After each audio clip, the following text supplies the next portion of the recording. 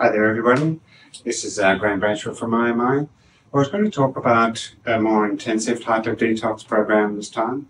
For quite some years, I've run one called a 10 day detox. It comes along with a booklet. Excuse me, I'm going to pick up the things and just give you an idea as I go.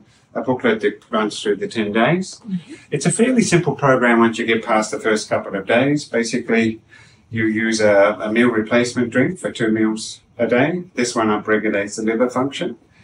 Um, you're also taking a fiber that cleans out your gut, uh, along with some herbs and homeopathics that uh, stimulate the lymphatic and liver functions. Uh, we give a probiotic, and there's a couple of other tricks in the bag that I won't go into, but you get the idea that it's more thorough than just upregulating the liver function, which we talked about in the last one.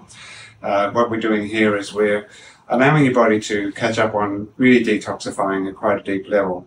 So what are the benefits? Basically more energy. If you have headaches, they tend to clear. Uh, you lose some weight. Men tend to lose about four kilos on average, maybe about uh, half that for women uh, in the 10 days, sometimes three for women.